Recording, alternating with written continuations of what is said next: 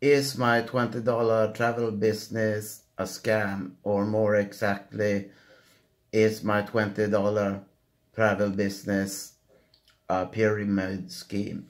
Hello Tommy Olsson here. With Profit with Tommy.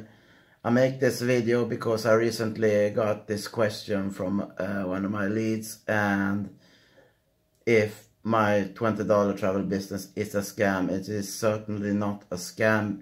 Uh, because we have a real product and it's a legit business where members get huge travel discounts on all their traveling. And our members ha have already people that are new into this business has really benefited already from uh, this travel discount when they have uh, ordered uh, uh staying at hotels and uh, making plans for, for the uh, nice holiday and so on. So it's certainly not a scam.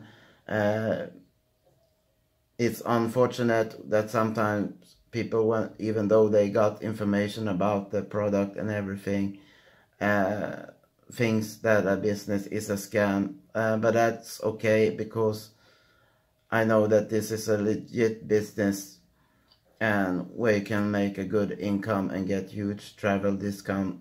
So it's okay that I have to answer this this question. But if you want to get started with your own travel business for just one dollar, then click the link below. So thanks so much for watching. Make sure to subscribe to my uh, channel and click the bell to receive notifications about when I'm adding new videos to my channel.